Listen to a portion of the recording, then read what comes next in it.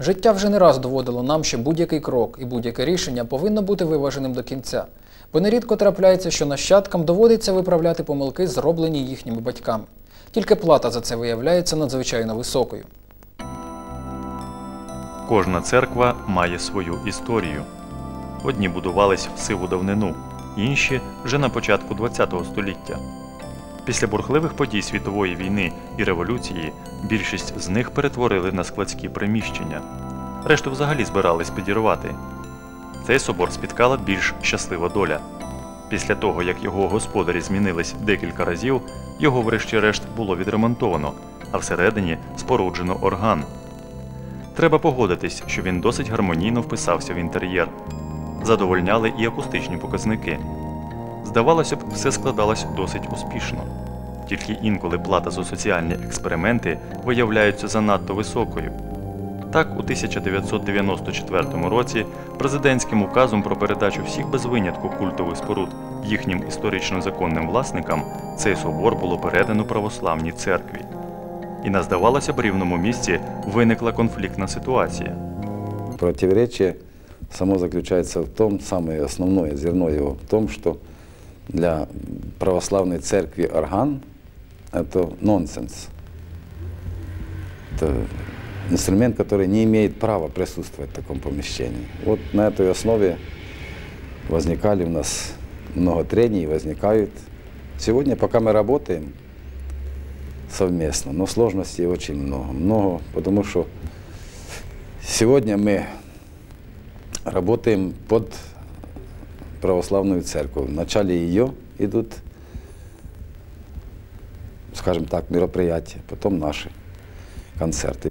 Але все ж таки, відповідно до діючого законодавства, обласна філармонія повинна залишити собор, повинна демонтувати орган і перемістити його в інше місце. Тільки справа в тому, що специфічність конструкції органу не дозволяє ніяких метаморфоз з перестановкою, адже його було створено спеціально для цієї архітектурної споруди з урахуванням акустичних і температурних властивостей приміщення. Мы все понимаем, что рано или поздно нам придется уходить с органного зала, потому что есть решение и указ президента, и решение Кабмина о передаче. А другого помещения, такого, чтобы на таком уровне было, как наше, все вместе, и орган, и помещение, акустика, я, честно говоря, в сумах не вижу. То есть спасти орган формально можно. Он будет для глаз, не для души и, как музыканту в первую очередь, все через ухо идет. Это будет для глаз. Смотреть на него можно будет.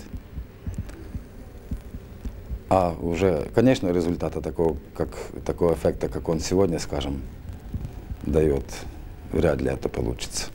Відтак, ми ще раз переконуємось в тому, що кожен крок, будь то політичний чи економічний, повинен бути виваженим до кінця, як для сьогодення, так і для майбутнього.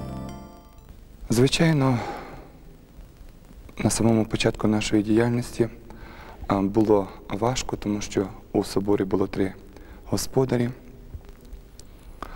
Блокувалася робота нашої парафії, але згодом ми дійшли розуміння, як у філармонії, як у керівників місцевої влади склалася думка про те, що повинна існувати наша парафія, що ми робимо добру справу для міста, для людей, що перш за все це Троїцький собор, що це церква, до якої тягнуться люди, яку люблять.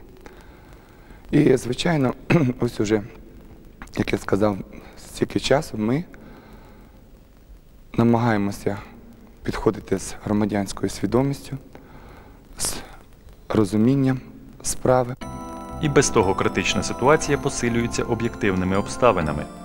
Проблеми з теплопостачанням стали причиною руйнування стін цього музею стінним грибком. Він розповсюджується і поступово буде проникати нагору до органу.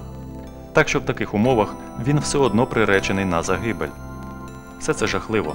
Руйнується не тільки собор, орган чи музей, руйнуються долі людей, для яких цей собор став частиною життя.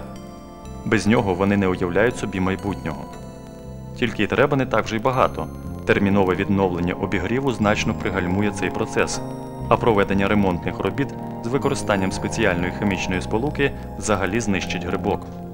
Але це глас вопіющого в пустелі, і природа безжалісно мститься безпорадним та байдужим, завдаючи смертельних ран.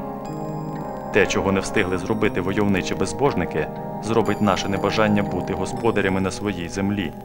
І якщо ми бажаємо кращої долі для себе і своїх дітей, нам треба подбати про пам'ять. Без минулого не може бути майбутнього.